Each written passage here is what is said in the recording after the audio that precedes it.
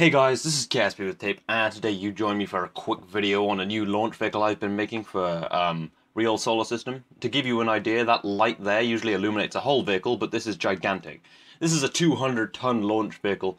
Um, it's called Jupiter 1 because it's based on a Saturn V, but it's extended and it has huge boosters on the side. Those boosters are 3 meters in diameter and 42 meters in length. This entire vehicle is about as tall as a real Saturn V, which happens to be taller than my my Saturn V in the game.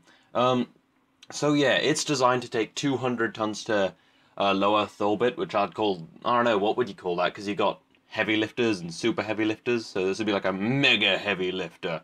No, this is um, somewhat similar. No, it's I was going to say it's somewhat similar to the idea for the Ares vehicle, but that was actually quite different. Basically, this is just um, kind of just like a mix between a Saturn V and a space launch system. Um, but yeah, those two boosters do make a serious difference. Anyway, I have sped it up because it is just a launch, and it does take a while. And you do want, I want people to see all of it because it's interesting. But I have done videos where I leave it at single times time accelerate, so to get an idea of uh, how much launch you get, just watch one of them. Anyway, um, yeah. So there's you can see some Mach effects there as it passes through the air of maximum aerodynamic pressure. And I'm really trying to tip over now. We lose the boosters. They have a, um, a very well engineered um, decouple setup. We're using only one SRB, which took me a while to engineer. Anyway, I'm trying to kind of frantically tip over, but not too much, because I need to get my um, velocity up. I need to keep my um, apoaps up. I'm going to put it quite high, because as I fly this right now, I go quite far over the um, apoaps to get myself into orbit, because there's a low thrust to weight ratio on that top um, on that top stage. It drops off by about five times now. Anyway, we ignite it, and these are the um, Saturn V engines. I would like a slightly more powerful one, actually. I might have one in my mod pack, so I could upgrade this. Um, these engines can't be throttled because they don't need to be in real life, so that does present some issues. Um, I have tried to decouple the fairings, which are quite weighty, but those kind of stay on, so um, I, I lose a bit of lifting power, but it's fine. I still I can still get my 200 tons to orbit, and that's all I really care about. This is the really long bit of the orbit. This is um obviously cruising up to apoaps and getting up to velocity, um, but unlike most of my launches, um, uh, apoaps isn't where my velocity will be maxed. Um, I'm going to drift right um, much further over my apoaps. Hopefully not too much, but probably quite a bit because I'm still falling short by about two kilometers a second right now, and I am already descending from my my apogee. So um, yeah, so it's just a matter of trying to balance um, efficiency um, and speed of getting up to speed, so burning on prograde and not falling back into the atmosphere, which is burning just above prograde.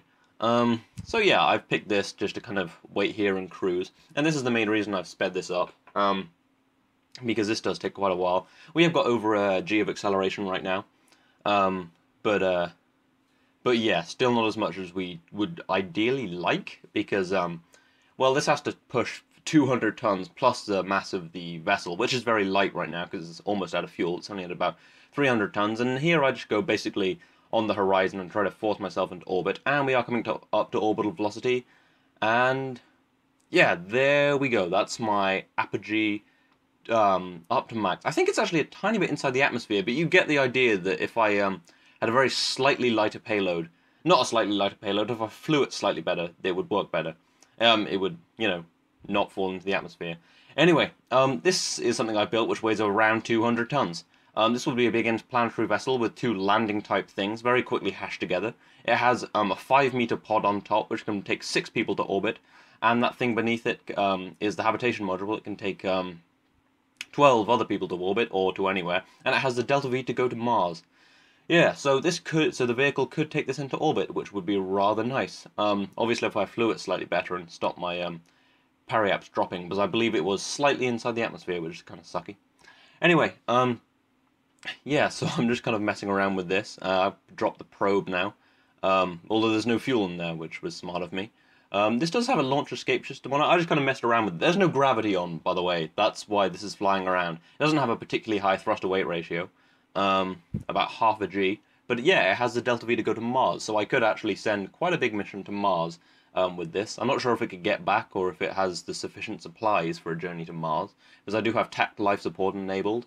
Um, it is covered in um, RCS, and it probably could do a lot of cool things, so maybe I'll use something like this, but better engineered, I think. Anyway, in terms of real world, something you can actually picture, this is a Soyuz U.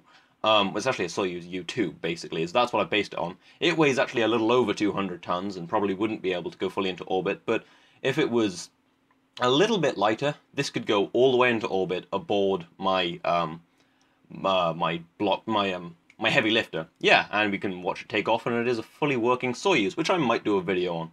Anyway, I hope you've enjoyed this, and I hope that guy survives, but I have a feeling he won't. This has been KSP with Tape. I will see you next time.